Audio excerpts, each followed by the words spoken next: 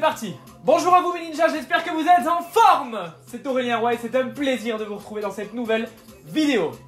On va couper la musique pour être un peu plus tranquille et on va la refaire. Bonjour à vous mes ninjas, j'espère que vous êtes en forme Et on va éviter de spoiler de suite tout ça. Hop Voilà Feu alors, voyons, voyons si on peut améliorer ce cadrage. Clac. Nickel. Aujourd'hui, on va répondre à une question que vous m'avez beaucoup posée. J'ai envie de prendre du poids, et notamment, je fais de la musculation et j'ai envie de prendre du muscle. Sur la balance, j'arrive pas à prendre du poids. Est-ce que je dois me tourner vers de la nourriture réelle, de la vraie nourriture, ou est-ce que je dois prendre des gainers? Dans cette vidéo, je vais donc vous donner mon avis sur les gainers, et on va voir les inconvénients et les avantages de chacune des deux techniques, à savoir manger plus, mais en quantité et en qualité surtout, de vraie nourriture, ou mais j'ai pas le temps de manger selon mon travail ou mon rythme de vie et je me tourne vers des gainers. On va voir les avantages et on va voir les inconvénients. C'est parti, intro.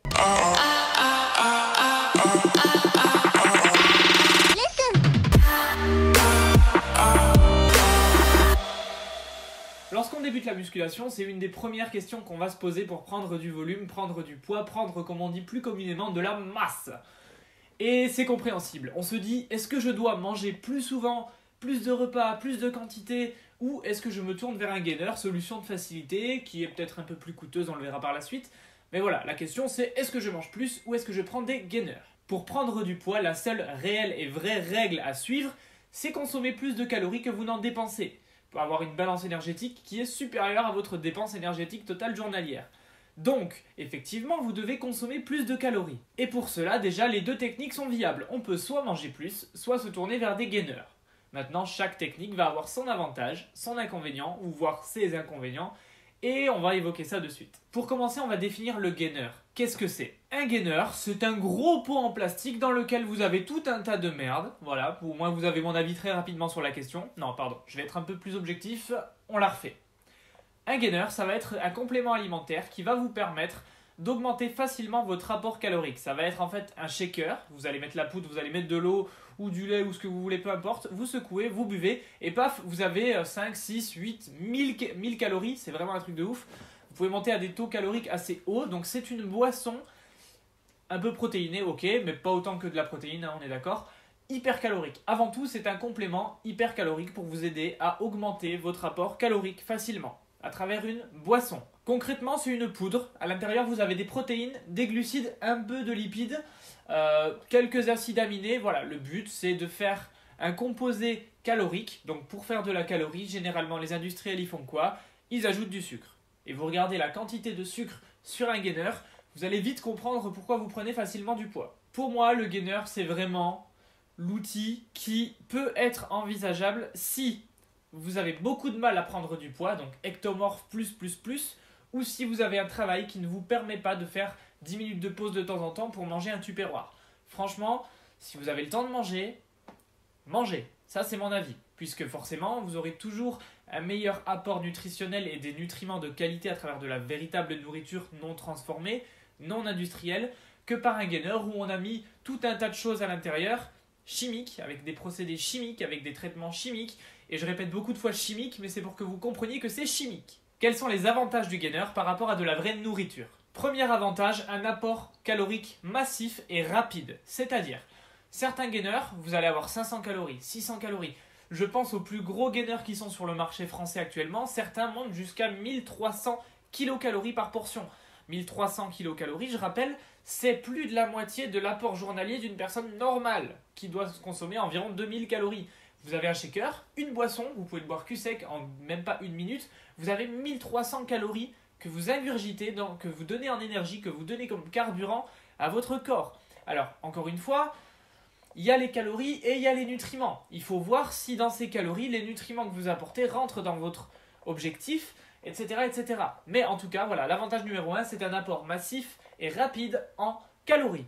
Pour quelqu'un qui débute, c'est une excellente solution dans la mesure où pour prendre de la masse, il faut surtout manger plus plutôt que de s'entraîner plus. La nutrition, pour, je rappelle, prendre du poids, prendre de la masse, construire du muscle, va primer sur votre entraînement. Ceci dit, l'entraînement doit être aussi adapté et optimisé, mais ce n'est pas le sujet de cette vidéo. Pour quelqu'un qui débute, c'est donc un outil très utile pour augmenter facilement son apport calorique et donc prendre facilement du poids. Et c'est la raison pour laquelle, si vous consommez du gainer et que vous débutez la musculation, Vous vous entraînez plusieurs fois par semaine, vous mangez sainement, et en plus de ça, vous faites des collations à base de gainer, vous allez voir que vous allez facilement prendre 10 kilos la première année.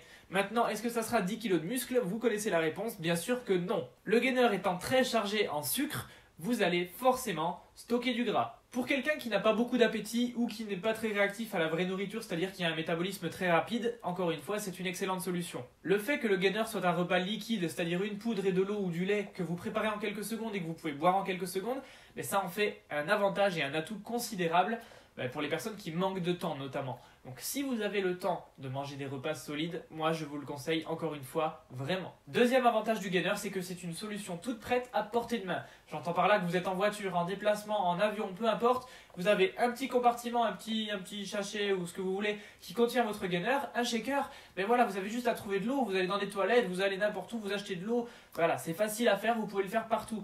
C'est plus facile, on va dire, que de se faire une entrecôte, un poulet, des patates douces, des haricots verts. Euh, voilà, vous avez bien compris l'utilité du gainer et la facilité d'utilisation que ça peut, ben, que ça peut, euh, la différence en fait de facilité d'utilisation par rapport à de la vraie nourriture. Troisième avantage des gainers, une répartition des macronutriments qui va être adaptée à vos objectifs. Si vous choisissez le bon gainer, parce qu'effectivement il y a différents types de gainers. Pour les ectomorphes qui ont beaucoup de mal à prendre du poids, on a ce qu'on appelle les hard gainers. Généralement, sur ce type de gainer, on est sur un 70-30 en termes de ratio glucides-protéines. Donc 70% de sucre, 30% de protéines. Logiquement, ton poids il monte. Si là il monte pas, en fait, le but de mettre 70% de sucre dans une portion, c'est quoi concrètement? Ben, C'est de driver euh, la synthèse de l'insuline et donc de provoquer, de forcer une prise de masse rapide et optimale. En général, on est entre 6 700 et 1200 1300 calories par portion pour ces types de gainers. C'est pas mal. Ah, on a une petite euh, invitée surprise. Vas-y, fais comme chez toi. Hein. Non, ça va? Oui. D'accord. Je disais donc 700. Ouais, ouais, 6, 700, 1200, 1300 calories pour ce type de gainer, ce qui est vraiment pas mal. Pour les mésomorphes et les endomorphes, on a un autre type de gainer pour ceux qui veulent prendre du poids, mais sans trop prendre de masse grasse. Là, généralement, sur le ratio glucides-protéines, on est plutôt à 50-50. Le fait d'avoir cette répartition-là, ça permet d'optimiser la prise de muscle à travers un apport en protéines qui est équilibré par rapport à un apport en glucides, ce qui permet de minimiser à la fois la prise de masse grasse et d'optimiser à la fois la prise de muscle, tout simplement. Euh, oui, c'est tout. Voilà, c'est tout ce que j'avais à dire. Pour les portions, on est à peu près à 2, 3 jusqu'à 5, 600 kcal. Donc moitié moins que les hard gainers quand même. Donc là, c'est pas négligeable. C'est une collation intéressante, encore une fois. Mais là, on est vraiment sur des personnes qui veulent faire ça, on va dire, plus linéairement que quelqu'un qui va prendre du hard gainer. Ok, nous avons vu les avantages des gainers par rapport à la vraie nourriture. Maintenant, quels sont leurs inconvénients? Ben, Premièrement, on va avoir un apport massif en sucre rapide. On l'a vu, le sucre c'est environ 60-70% de composition dans un gainer. Donc forcément, c'est ce qui fait qu'ils sont hyper caloriques. Le problème, c'est que vous vous doutez bien que c'est pas des bons glucides que vous allez trouver dans le quinoa, le boulgour, la patate douce et j'en passe. Pas du tout. La plupart du temps, les industriels, ils vont mettre ce qui leur coûte le moins cher. Hein. Ça reste du business, ça reste une société. Donc, maltodextrine, dextrose, sucre blanc. Voilà, pour faire simple, vous avez compris l'idée, mais c'est des composés chimiques qui sont des sucres très rapides. Et bah, pour votre organisme, ce n'est pas du tout bon. Car ils ont une charge glycémique très élevée, ce qui provoque une hausse énorme de l'insuline. Et donc qui favorise une prise de masse grasse. Et c'est pas vraiment ce qu'on recherche en fait à la base. Je vous rappelle que vous êtes là pour faire du muscle faire de la viande et pas faire du chamallow autour de votre viande. Donc euh, non, c'était pas le but. Donc oui, sur la balance, vous allez prendre quelques kilos. Maintenant, pourquoi? Bah parce que tout simplement, un gramme de glycogène, ça stocke environ 3 grammes d'eau. Donc forcément, si vous prenez quelque chose qui est hyper sucré, non seulement vous explosez votre rapport calorique, mais en plus de ça, vous retenez des cellules d'eau. Donc c'est facile de prendre plusieurs kilos en très peu de temps. Et vous allez vous dire, ouais, c'est trop bien, j'ai commencé la muscu le mois dernier, j'ai pris 6 kilos. Wouh et au final, est-ce que tu as pris du muscle? Est-ce que tu as l'impression que. Alors oui, ton tour de bras il a grossi parce que tu as un bras tout gras, mais est-ce que concrètement, si tu contractes, tu as un putain de biceps avec des jolies veines? Est-ce que voilà, tu es sec? Est-ce que tu as la peau euh, en mode sèche? Pas du tout. Est-ce que c'était ton objectif à la base? Je pense pas non plus. Tu vas plus ressembler à Michelin qu'à un mec qui a un six-pack bien tracé. Donc attention au choix que tu vas faire. Moi, vraiment, je te conseille encore une fois de te tourner vers de la vraie nourriture quitte à ne pas faire de collation si ton emploi du temps et ton rythme de vie ne te le permet pas, mais du coup d'augmenter ton apport calorique sur tes vrais repas. Peu importe, c'est pas grave, tu mangeras pas toutes les 3 heures, mais tu auras un apport calorique de quantité et de qualité surtout. Donc après voilà, question de choix, question de point de vue, personnellement les gainers, je suis contre. Deuxième inconvénient, on repart sur l'avantage numéro 2 qui était c'est du tout en un. Alors oui, c'est du tout en un, mais l'inconvénient, ça va être quoi? C'est que c'est un tout en un qui est non modulable. Je m'explique. Vous êtes un jeune homme, vous avez commencé depuis quelques mois la musculation. Ce soir, vous devez vous entraîner comme tous les soirs à votre habitude, sauf qu'aujourd'hui, vous avez eu beaucoup de boulot, vous n'avez pas eu le temps de manger à midi à part un paquet de chips vite fait et un sandwich dégueulasse Sodebo. Là, vous sortez du taf, il est 18h30. Vous êtes prêt à partir du boulot, et là vous vous dites, ouais, bah comme d'hab, je vais boire mon euh, super Megamas 3000. Sauf que là, bah, le goût hyper sucré du truc, ça vous rebute. Vous avez pas envie, vous vous dites, non, mais ce soir, j'y arrive pas, ça passe pas. La réalité du truc, c'est que votre corps, votre cerveau reptilien, votre instinct, il va vous dire, putain, tu m'as emmené de la merde à midi, tu m'as donné de la calorie vide, tu m'as pas donné un bon steak, euh, voilà, j'ai pas envie de bouffer ta boisson sucrée de merde. Euh, et votre corps, il va vous dire, ben, en fait, là, j'ai envie de prot, j'ai envie d'un bon gros steak, j'ai envie d'une bonne grosse entre... Votre corps, il va vous dire, ben non, là, j'ai envie de prot, j'ai envie d'un bon gros steak, j'ai envie d'une bonne grosse entrecôte. Votre corps, il a envie de protéines, il n'a pas forcément envie de sucre. Et le problème ben, du tout en un, du gainer, c'est que vous pouvez pas séparer le sucre des glucides. Donc à la limite, si vous aviez des protéines, sous la main, ben, vous prendriez la protéine, votre corps il en voudrait. Mais le goût hyper sucré des glucides contenus dans le gainer, ben, votre corps il dit no, no way, I don't want this shit. L'inconvénient que je veux souligner en vous donnant cet exemple, c'est que si vous choisissez d'opter pour de la vraie nourriture, vous pouvez composer vous-même votre assiette, moduler selon l'heure de la journée. Vous n'avez pas envie de glucides le soir, ok, vous les enlevez. Vous voulez plus de protéines à midi, ok, vous en remettez, etc. etc. Vous n'avez pas cette possibilité. Là, J'arrive pas à parler aujourd'hui. Vous n'avez pas cette possibilité. Possibilité. Putain de merde Non, je t'y fais peur. Vous n'avez pas cette possibilité-là avec des compléments tout en un type gainer. Inconvénient numéro 3, un coût au gramme très élevé de la protéine. J'ai trouvé un tableau sur bodybuilding.com qui est un site de référence en musculation et en nutrition et je vous mets le comparatif là maintenant à l'écran comparé à de la véritable nourriture que vous allez pouvoir acheter, les industriels se font pas mal au cul et se font une marge fantastique et phénoménale et surtout injustifiée en termes de point de vue qualité par rapport au prix réel du gramme de protéines que vous allez acheter en achetant des œufs, de la viande, etc. Il quasiment fois deux, il, il, double quasiment. C'est quelque chose de voilà. Si vous avez envie de jeter votre argent par la fenêtre, achetez du gainer. En plus de ça, encore une fois, je vous l'ai dit tout à l'heure, mais les industriels ont tendance à prendre euh, des produits, matières premières de faible qualité puisque ça leur revient moins cher. Et comme ça reste du business, on prend forcément ce qui coûte le moins cher et bam, on l'envoie au client. Sauf que pour les glucides, on l'a vu, ils prennent de la maltodextrine, du dextrose, voilà, ce qui leur coûte pas cher. Est-ce que vous pensez que pour les protéines, ils vont vous prendre de la protéine de qualité? Je vais vous donner la réponse tout de suite. Hein. Protéines de soja, gélatine, voilà, en général, c'est ce que vous allez retrouver dans les gainers. Vous n'aurez pas de la protéine de qualité. Donc, non seulement vous la payez le double du prix que vous payerez si vous mangez de la vraie nourriture, et en plus de ça, vous n'y retrouvez pas la qualité derrière.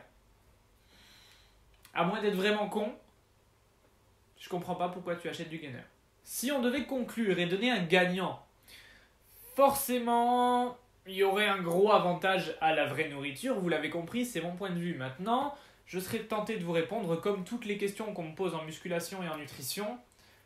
Une seule véritable réponse, ça dépend. Ça dépend de vous, de votre mode de vie, de votre rythme de vie et de vos habitudes alimentaires et surtout de vos habitudes en termes d'activité physique. Encore une fois, les gainers, c'est comme la protéine. Pour moi, tout ce qui va être complément, c'est un aspect pratique, économique pour la protéine, mais pas pour le gainer. Du coup, là, on n'a pas cet avantage-là. Mais c'est surtout un aspect pratique. Ça se fait pas la liaison, c'est pas bien c'est surtout un aspect pratique dans la mesure où si vous êtes au travail, en déplacement ou peu importe et que vous pouvez pas vous envoyer 100 grammes de riz, 100 grammes de patates douces, des glucides euh, de bonne qualité, des protéines, ce que vous voulez, viande, poulet, poisson, œuf, ou euh, et pardon des légumes, ben forcément le gainer ça va être pratique. 5 secondes de l'eau, 5 secondes je secoue, 5 secondes je bois, je rote et c'est fini. Donc pour l'aspect pratique, ok, gros avantage. Maintenant, pour l'aspect santé, pour l'aspect qualitatif et pour l'aspect économique, nada. Maintenant, le must du must, c'est quoi? Pour votre santé, l'idéal, ça serait de comprendre comment fonctionne la nutrition et d'être autonome et capable d'allier densité calorique avec densité nutritionnelle. Autrement dit, choisir des aliments vous apportant le nombre de calories dont vous avez besoin, mais vous apportant aussi en même temps l'aspect ben, parallèle en fait qui est la densité calorique. Donc qui vous apporte euh, la densité nutritionnelle, pardon. Donc c'est-à-dire que l'aliment vous apporte ok les calories dont vous avez besoin sur votre journée, mais aussi les macro et micronutriments et oligo-éléments dont vous avez besoin, surtout besoin dans votre journée. Il n'y a pas que la calorie à prendre en compte. Ça, j'en parle dans mon webinaire qu'on vous a tourné avec Juanito Power Training euh, pour vous introduire la formation Phoenix en fait. Et je vous laisse découvrir tout ça en cliquant sur le lien qui est dans la description. Tu as juste à rentrer ton adresse mail et tu recevras tout ça. J'espère que tu auras compris que c'est mon avis, que tu dois adapter ta nutrition et ton entraînement à ton mode de vie à toi, que tout doit être optimisé. Si tu as besoin d'aide pour ça, n'hésite pas à m'envoyer un mail, je te répondrai avec grand plaisir. Sur ce, c'était Aurélien Roy, je vous dis à très bientôt dans une prochaine vidéo. Ciao